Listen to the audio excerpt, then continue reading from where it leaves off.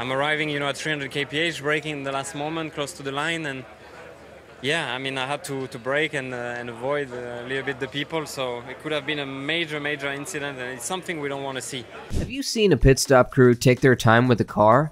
F1 pit stops are among the most dramatic and thrilling aspects of a Grand Prix. While drivers work hard on the circuit to win, this effort is all too often undone by a vital component of Formula One racing pit stops.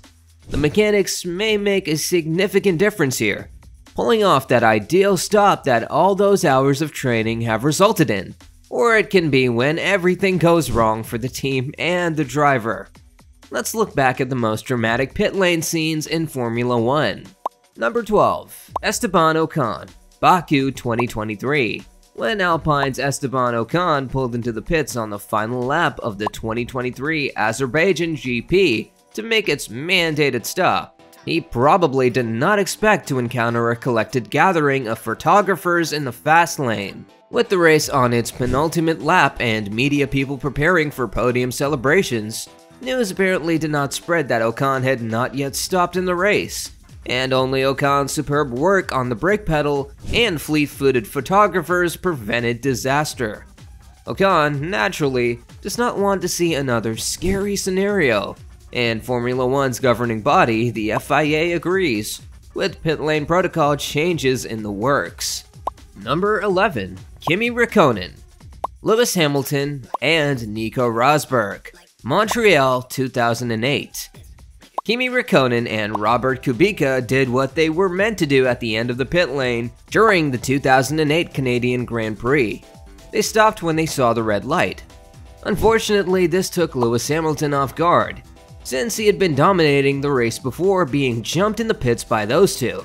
The McLaren driver collided with Raikkonen's Ferrari, forcing both to retire, while Nico Rosberg injured his front wing after striking Hamilton's vehicle. Fortunately, no one was wounded and Kubica went on to claim his first and only Formula 1 victory. Number 10. Kazuki Nakajima, Sao Paulo 2007 Kazuki Nakajima was preparing to make his Formula One debut. He drove for Williams at the Brazilian Grand Prix at the end of the 2007 season, following Alexander Wurz's retirement and acquitted himself well, finishing 10th and achieving a faster lap than his teammate Nico Rosberg. But the Williams driver got his first Formula One pit stop very wrong. He made quite a hash of fitting neatly into his pit box for the waiting mechanics. The Japanese driver flattened three mechanics, but fortunately after hospital checks, the all clear was given, and thus a frightening situation had a positive outcome. After the race, Kazuki Nakajima remarked, I'm very sorry that some of my mechanics were injured during my pit stop, and I hope they're alright. Number 9. Adrian Sutil and Robert Kubica crash. Hungaroring 2010 it's dangerous enough when a driver's lack of accuracy causes problems for their technicians. But when automobiles collide around workers, the situation takes on a whole new level of seriousness. This is what happened at the Hungaroring in Hungary in 2010. Kubica came out of his pit box and collided with Adrian Sutil of Force India as he came in. On lap 15, chaos ensued in the pit lane, following the deployment of the safety car as a piece of debris from Sutil's teammate Vitantonio Liuzzi's car was cleared from the track. That was the end of Sutil's race, and Renault was fined $50,000 for an unsafe release. Fortunately, the only thing that was damaged was Renault's bank account.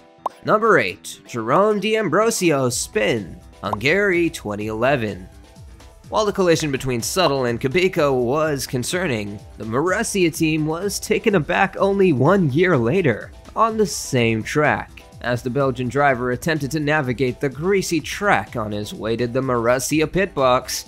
He lost control of the car and spun right into the waiting Marussia crew. It was a big relief when the car simply ran out of momentum before getting to the mechanics. Disaster averted. Number 7. David Coulthard, Adelaide, 1995.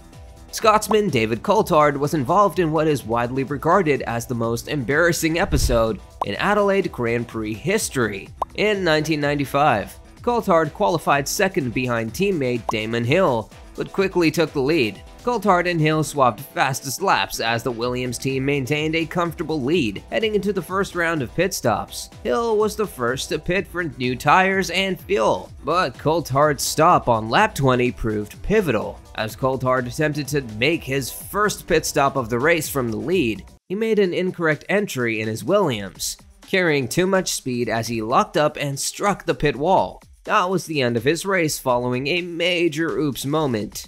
Number 6. Nigel Mansell, Portugal, 1991. If the automobile itself does not pose a problem in the pit lane, another piece of accompanying equipment frequently does. Take the tires, for example. As Nigel Mansell discovered at the 1991 Portuguese Grand Prix, when his right rear tire suddenly broke free after departing his pit box. While other mechanics ducked and dived to avoid the tire's path, the Williams team proceeded down the pit lane to refit the tire at the location where Mansell was stranded in the middle of the pit lane, resulting in his disqualification from the race. Number 5. Lewis Hamilton, China 2007. Few incidents in F1 racing history have had so little energy, but so much importance. Even fewer seemed to be preventable. But as Lewis Hamilton tumbled into the gravel and out of the race in China, the penultimate round of his dramatic and historic rookie season, all McLaren could do was watch and wonder what might have been. This was not an accident caused by impatience or desperation. McLaren and Hamilton were in control, Unbeknownst to Hamilton, the pit lane did not dry as quickly as the track. He was blind due to tires that had worn down to the canvas in some spots, and a visor covered with filth and grease thrown up by the weather. And as the pit lane curved left, he was caught out.